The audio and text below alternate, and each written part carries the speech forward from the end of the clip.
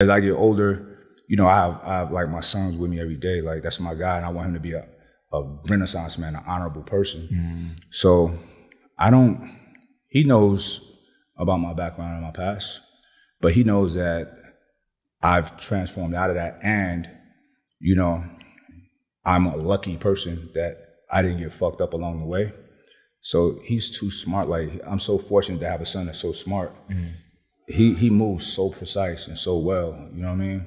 And he's a real dude too. Like he didn't grow up. Remember Drake had a song, or something light skin. And Drake said, he said light skin, but I'm still a dark nigga. Yeah.